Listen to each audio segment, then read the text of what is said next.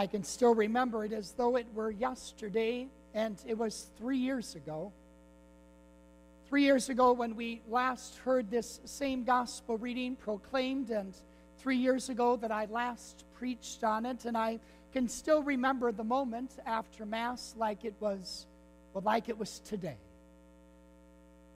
And the gentleman came up to me after Mass, and he had a smile on his face, and after hearing this gospel today and after hearing me preach, I have no idea what I preached on three years ago, so didn't have to worry about that. But I can still remember him coming up to me and looking at me, and he said, Father Steve, just one more thing. Just one more thing that I have to avoid. You know, like sugar and salt and carbs. Now I'm supposed to avoid worry. Is there nothing good left that I can have in my life? I don't know. Is there? Ah, yes, there is. Yes, it seems as though we're being told, and we are today, to avoid one more thing. Thou shalt not worry we should put above all of our doors. We should, why, inscribe it on anything we can. We should post it on our computer screens and on our tablets and on our cell phones. We should certainly put it wherever we can see it every single day. The 11th commandment Thou shalt not worry. Oh, oh, but you say, well, that's easy for Jesus to say to not to worry. After all, he's God. What has he got to worry about? Nothing. It's easy for him to be able to say to you and I, why, there's nothing we should worry about. After all, Jesus doesn't have, well, he doesn't have a mortgage payment to make. And certainly, that's something we worry about. Why? Jesus doesn't have, well, he doesn't have children, and so he doesn't have to deal with the reality of children being sick like I have to deal with. And so, why, it's easy for him to say not to worry. And that, of course, Jesus doesn't here, doesn't have, as I heard this past week, a teenage daughter that's in 11th grade and hasn't been asked out for prom yet and all the worry that that's causing me as a parent because, after all, will she be asked? I hope and pray to God she will be asked, or otherwise, well, otherwise it will be the end of the world as I know it, as a mother shared with me. And then a dad came up to me just moments later and he was telling me about his worries. His son actually asked somebody out to prom, and to his dismay, she said yes. And I said, Well, what's the worry? And he looked at me and he said, Well, my son wants to use my antique car. And I don't want him behind the wheel. Yes, there's much to worry about. There's much to worry about. Even those who are asked for prom are worrying these days about what it is that they will wear, what kind of dress or what kind of tuxedo might be the apparel for the night. There's worries about our health. There's worries about family relationships. There's worry about not having enough time. There's worries about not having enough money. There's worries about getting sick.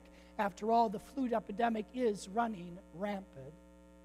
There's so much to worry about. So why give that up? It's not even Lent yet. But Jesus wants you and I to give it up recognizing that it really is humanly impossible. Actually, what Jesus wants us to do is not necessarily give it up, but to be able to change, to be able to change our consciousness. Because when we worry, we go through life with an anxiety consciousness. We're always anxious. We're always worried. We're always asking and we're always thinking, there's not enough. There's not enough. There's never going to be enough. There's just not enough. Oftentimes, that anxiety consciousness is what enables you and I to focus in on that which is lacking, that which is, which is not enough. not enough time, not enough money, not enough energy, not enough exercise, whatever the not enough might be. So, what Jesus wants you and I to do when he tells us to seek first the kingdom of God is that he wants us to go through life recognizing that there's always going to be worries that you and I are going to carry with us. But as we carry them, he wants us to have a different kind of consciousness, and it's called a gift consciousness. A gift consciousness. It's enabling you and I to walk through life recognizing that everything we have is a gift. This very moment, the opportunity that you and I have to be able to gather in this church, to have the freedom that is ours to be able to worship without fear or without persecution or without being killed, is indeed a gift. And so we come to this place of worship and we come and we lift our voices in prayer and in praise, and we can do it all because of this incredible country that we live in, this freedom that is ours. So we are invited as we carry those anxieties and those worries that are part of daily life, whether it be about paying the bills or taking care of the kids or having enough of this or that. Hopefully, as we can walk through life with a gift consciousness, which is what the kingdom of God is and is about, why then it can help us as we carry those worries and as we carry those anxieties that are part of daily living because once we recognize life itself as a gift and the, gift of today as a gift and this moment as a gift, well, then we take that anxiety and that, we were, and that worry and we connect it up with the gift and we realize that even though our choosing not to worry as much isn't going to change the reality that there are things that are going to be worrying that we're going to have to worry about. What does change is our ability to walk through them and to carry those burdens that worry and anxiety bring to our lives in such a way that we will know, as we heard in today's first reading, that our God will never forget us. Our God does not give up on us.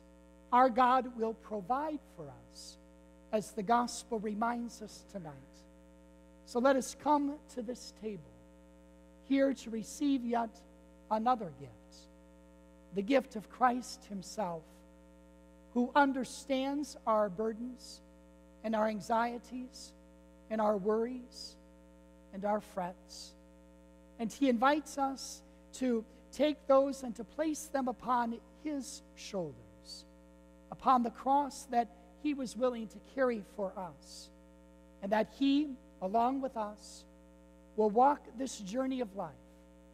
Yes, continuing to worry, but with a new spirit, a spirit that recognizes that even the trials and the tribulations and the difficulties and the struggles of this life will provide for them and for us ample opportunities to recognize God's presence in them.